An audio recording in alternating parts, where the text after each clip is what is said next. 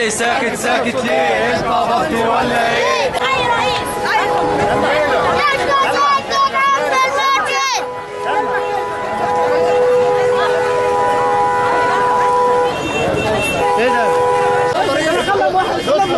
انت اللي عامل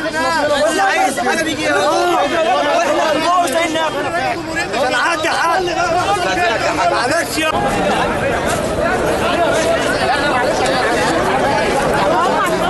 عبد الناصر هيجي عليها الدور وهتتهد ايا كانت هي إيه؟ أحمد وجيه مخرج في القناه الثانية كويس؟ أي حاجة بناها عبد الناصر هيجي عليها اليوم وهتتهد في العصر الزبالة اللي إحنا عايشين فيه ده. أنا آسف لللفظ يعني. تمام؟ النقطة الثانية مفيش إدارة داخل المبنى غير ما بقى فيها واحد إخواني.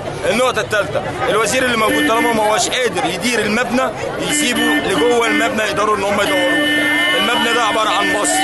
المبنى ده اللي بيحصل جواه هو اللي بيحصل جوه مصر.